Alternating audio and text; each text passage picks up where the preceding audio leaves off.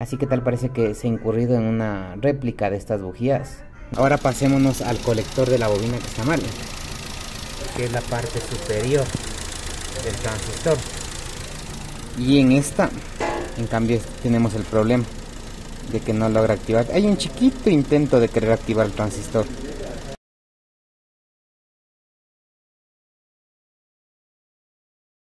Esta es una Chevrolet Captiva 2020 1.5 tiene algunos códigos de avería.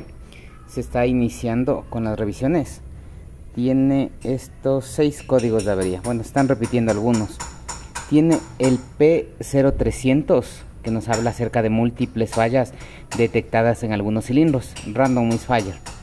Sí, también tiene identificado también un cilindro que está fallando más que todos. Un misfire en el cilindro número 1. Se repite el random misfire, se repite ese también tiene un código relacionado con em, la posición de uno de los sensores em, del acelerador. Mm, me parecería que primero hay que resolver el tema de, de falla de cilindros para concentrarse en los, otros códigos porque podrían estarse grabando en consecuencia de los misfire. Es algo que suele suceder. Y también tiene un código de sensor de velocidad del vehículo. Así que por este código nosotros colocamos el osciloscopio. Quisiera mostrar algo. no tengo eh, activación para la bobina número 1. Entonces rápidamente voy a mostrar el pulso de activación de cada una de las cuatro bobinas que tiene. La señal de activación la tenemos en el medio. A pesar de ser una bobina de tres cables, sigue siendo una bobina simple.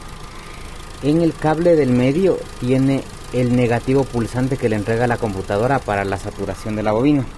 Entonces, aquí tenemos este espacio de tiempo en el cual la computadora le envía negativo, el tiempo de quemado donde he lanzado cursores y el tiempo de quemado está durando alrededor de 2.3 milisegundos.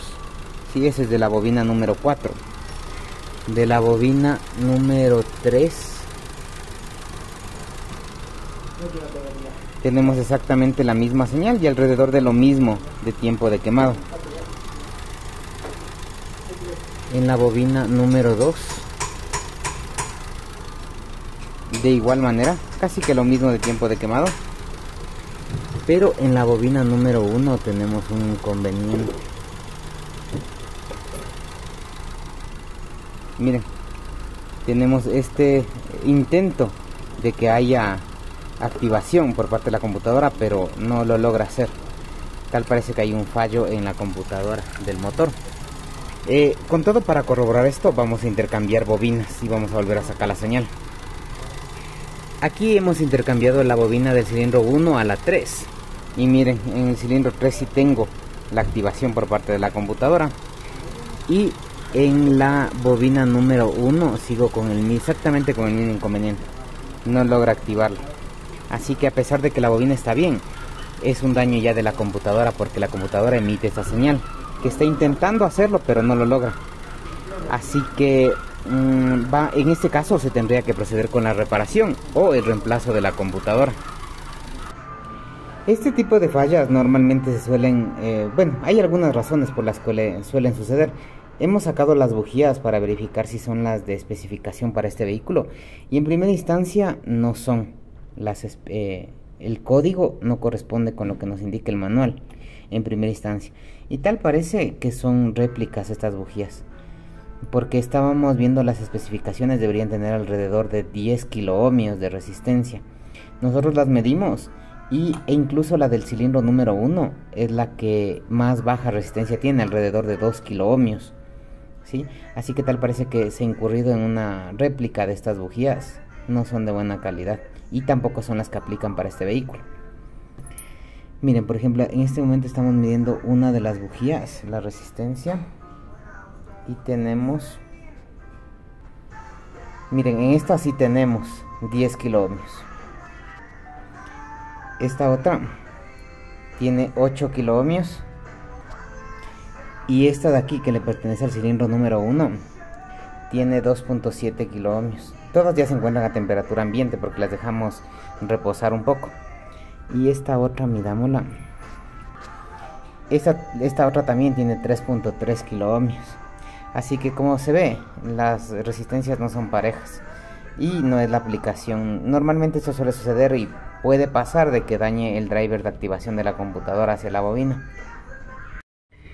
Estamos realizando algunas pruebas eh, directamente en el, en el, vehículo para no tener que colocar en el banco de pruebas la computadora. Ya la destapamos y estamos viendo que hay un inconveniente. Tal parece que no es el, el transistor de potencia lo que está dañado, sino que directamente la activación que envía el microprocesador envía al transistor para que se active. Estos cuatro de aquí son los transistores de potencia que activan las cuatro bobinas porque son simples. Entonces nosotros hicimos unas mediciones que ya voy a mostrar y en este es el transistor de la bobina 1. Pero lo que no le está llegando bien es la activación en la base. Ya lo voy a mostrar. Entonces lo que encontramos es lo siguiente. En este momento el osciloscopio está colocado a una de las patitas que es la base de uno de los transistores de potencia de los que están bien. Y en el osciloscopio tenemos una señal, un pulso positivo que envía, está amplificada por parte del micro y llega alrededor de 4.8 voltios. Ahí está colocado el cursor, el Y2 es 4.8. ¿Ya? Ahora nos vamos a pasar a la base del transistor de la bobina 1. Pasémonos.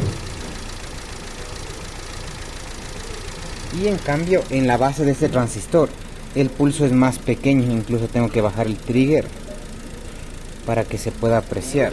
Miren, ahí está apareciendo el pulso es mucho más pequeño, pero esto ya es directamente por parte del micro que se envía este pulso positivo.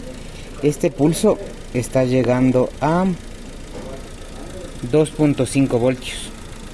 Así que tal parece que el inconveniente está no es el transistor, sino directamente la activación de la base.